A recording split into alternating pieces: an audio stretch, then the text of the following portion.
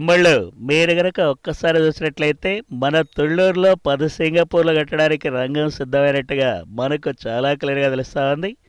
అదే మాదిరిగా మనం ఇంకో పక్క చూస్తూ ఉంటే డెవలప్మెంట్ అనే దానికి నేను బ్రాండ్ అంబాసిడర్ అని మనకి ఇంకా చాలా క్లియర్గా తెలుస్తూ ఉంది.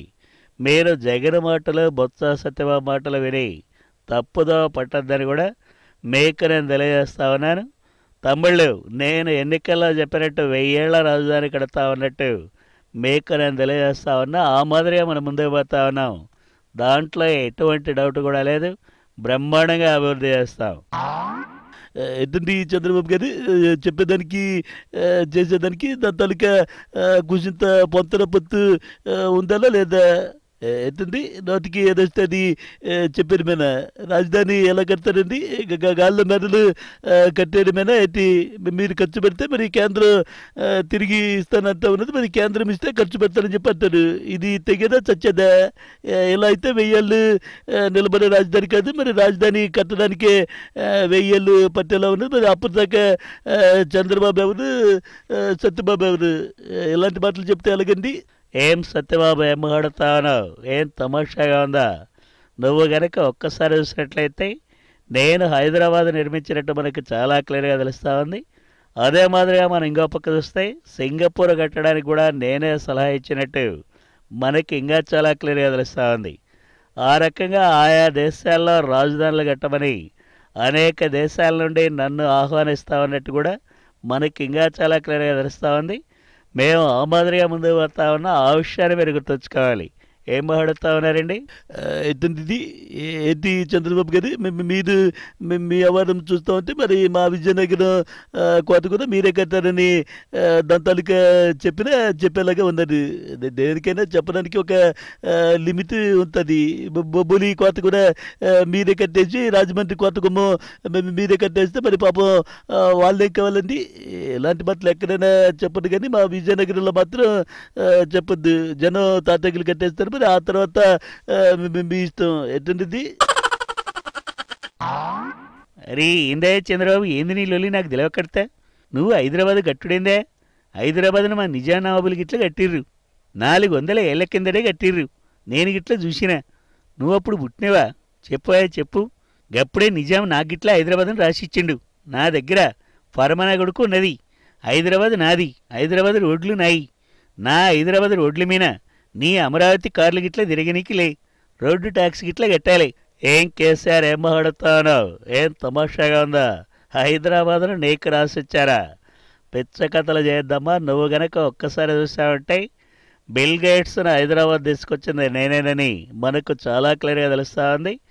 ఆ మాదిరిగా మనం చూస్తూ ఉంటే గోల్కొండ కిల్లా నేను నిజాం నవాబు కలిసి కడతా ఉన్నటువంటి ఫోటోలు మా లోకేష్ దగ్గర బ్రహ్మాండంగా ఉన్నట్టు మనకు తెలుస్తూ ఉంది ఆ విషయాన్ని మీరు గుర్తుంచుకోవాలి. ఇప్పుడు నేను హైదరాబాద్ను మెచ్చిన నగరాన్ని అమరావతిలో కడతా ఉన్నట్టు మీకు నేను తెలియజేస్తా ఉన్నాను.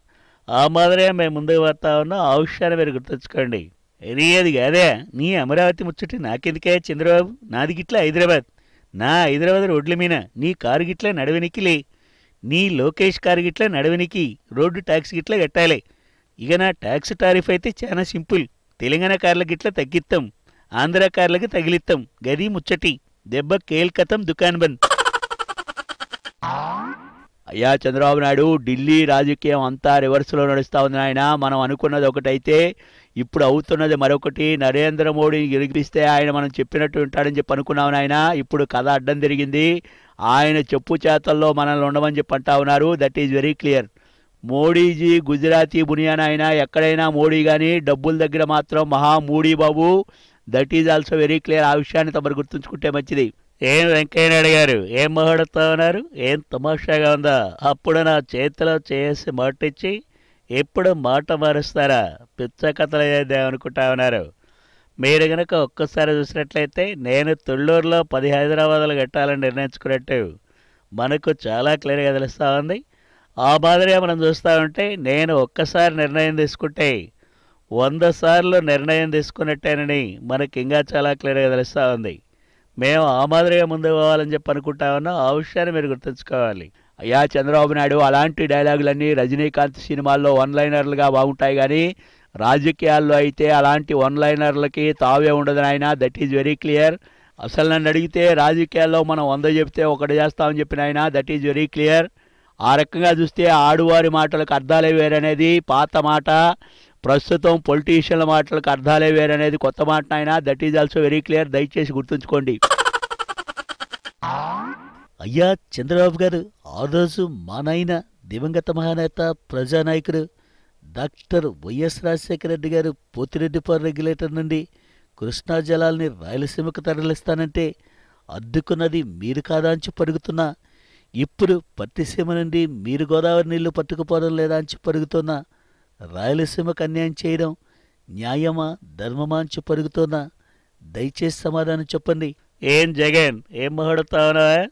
ఏం తమాషాగా ఉందా? నేను రాయలసీమకు అన్యాయం చేస్తా ఉన్నానా? పిచ్చ కథలు చేద్దామనుకుంటా ఉన్నావు.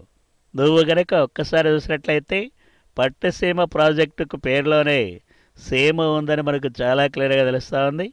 నా ఆలోచనలు అంతర్జాతీయ స్థాయిలో ఉంటాయమ్మా.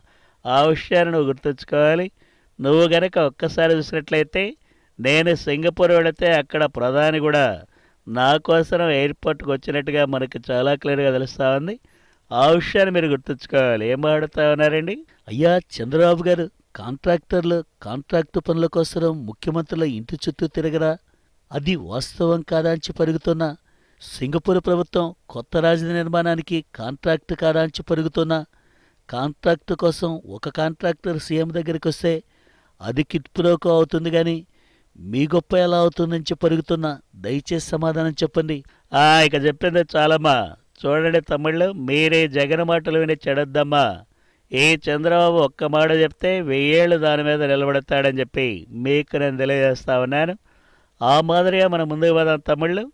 ఇందులో ఎటువంటి ఆలోచన కూడా లేదు బ్రహ్మాండంగా మనం అభివృద్ధి చేస్తాం. ఆ విషయంలో మీరు ఎటువంటి ఆలోచన పెట్టుకోవద్దు. ఓకే తమ్ముళ్ళు. ఇంతటితో ఈ కార్యక్రమాన్ని ముగిస్తా ఉన్నాను. మళ్ళీ కలుద్దాం. అంతవరకు సెలవు. అందరికీ నమస్తే.